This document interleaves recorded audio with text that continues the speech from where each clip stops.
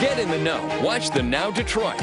Breaking news now. Detroit police hunting for a gang of serial rapists. Your latest forecast now. Changing as we speak. If it's in the news, we're talking about it now. Uh, we've had enough. Shut them down. Weekdays at 4 from 7 Action News.